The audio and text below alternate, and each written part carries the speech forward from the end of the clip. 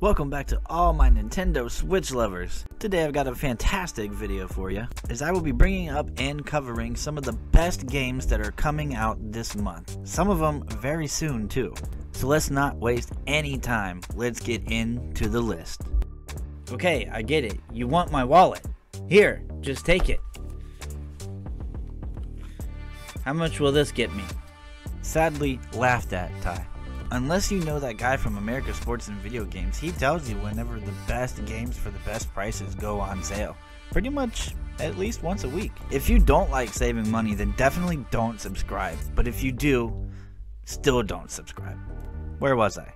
Oh yeah, Aragami 2 by Merge Games. Oh, I can't wait for this one. Speaking of, the first one is on sale right now, and I highly suggest it. At first glance, Aragami 2 will probably remind you of Assassin's Creed or maybe Shadow of War slash Shadow of Mordor, just by the way you can control shadows and move stealthily. Stealthily a word? It is now. And what's cool is you can play this with multiple people, two other people, online, and you can be badass together. How much fun is that? Listed as an action slash adventure game.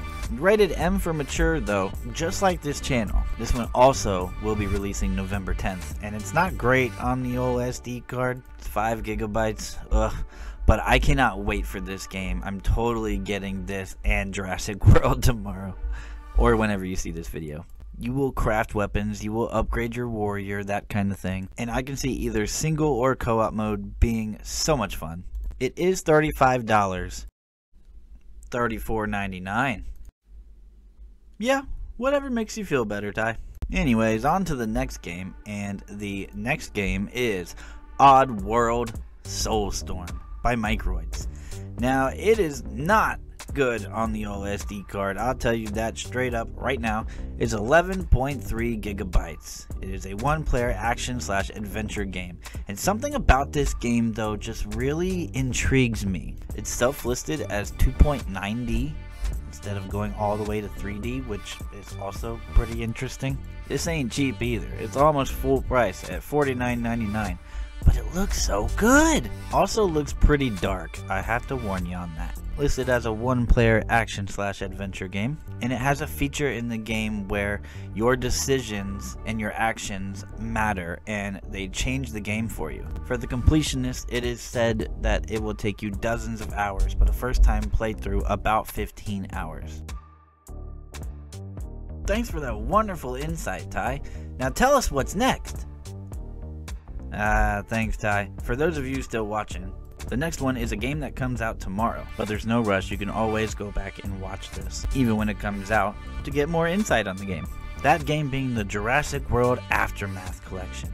And in this, you are stuck on Island Nublar with a bunch of things that would just love to eat you. You're gonna have to solve puzzles and go on quite the adventure to make sure that your ass doesn't get eaten listed as an action slash adventure slash puzzle slash strategy game. This game's great on the old SD card at just 1.2 gigabytes, but not too great on the pricing. If you want to wait for suckers like me to play this game first and tell you how it is, then by all means, as it is $29.99. But this game looks really cool and I will definitely be playing it. I cannot wait. Good thing it's only one more day. AKA November 10th. That's probably what I should have said instead of tomorrow. Alright guys, I think that's about it. There's just one more game that I wanted to mention. Something like Pokemon Scarlet and Pokemon Violet. You guys ever heard of it? Uh, yeah. I'll take it from here. No more talking for you, please. Pokemon Scarlet and Violet. Nintendo's own. And the release date is November 18th. But if you're like me, you already have your calendar marked for that. Wonderful day. Pokemon's true first open world game makes it that much more exciting. You'll also get to ride on legendary Pokemon as if it's like some kind of motorcycle. Sign me up for that. If you don't know, now you know, I truly love Pokemon. And honestly, I've been waiting all year for this. Or actually, since I beat Pokemon Legends Arceus, which is another just great game. But I fully expect this one to be even better. May even be my game of the year, but who knows? We'll see when the end of the year finally approaches.